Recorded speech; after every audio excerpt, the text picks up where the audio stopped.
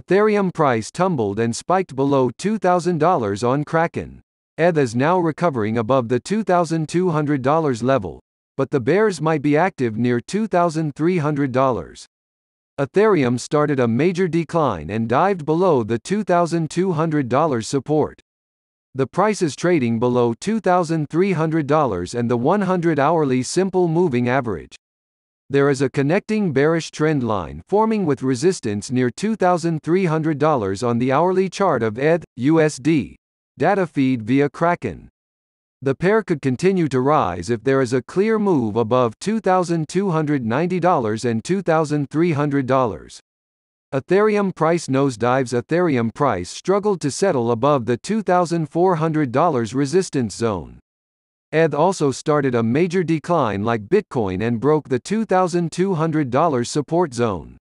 There was a sharp decline and the price even spiked below the $2,000 support zone. A new yearly low was formed near $1,860 and the price is now recovering losses. There was a decent increase above the $2,000 and $2,080 resistance levels. The price climbed above the 50% fib retracement level of the downward move from the $2,430 swing high to the $1,860 low.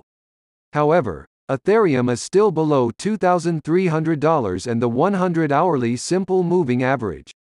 On the upside, the price is facing resistance near the $2,290 level, the first major resistance is now near 2300 there is also a connecting bearish trend line forming with resistance near 2300 on the hourly chart of ETH USD the trend line is close to the 76.4 fib retracement level of the downward move from the 2430 swing high to the 1860 low source ETH USD on TradingView.com. A close above the 2300 resistance could send the price toward 2400 the next key resistance resistance is near 2440 if there is a clear move above 2400 there could be a drift toward 2500 the next resistance sits at 2500 above which Ethereum might rally and test the 2620 zone. Fresh decline in ETH if Ethereum fails to clear the 2300 resistance it could start a fresh decline. Initial support on the downside is near the 2200 level. The first key support could be the 2080 zone. A downside break and a close below 2080 might start another steady decline in the stated case. Ether could test the 2000 support. Any more losses might send the price toward the 1860 level. Technical indicators hourly. MACD the MACD for ETH USD is regaining momentum in the bullish zone. Hourly RSI the RSI for ETH USD is now above the 50 level. Major support level 2180 major resistance level 2300